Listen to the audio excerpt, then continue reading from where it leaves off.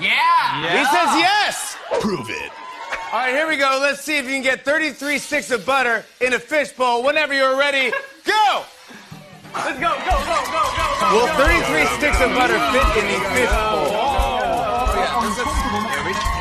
Force them to fit. Oh!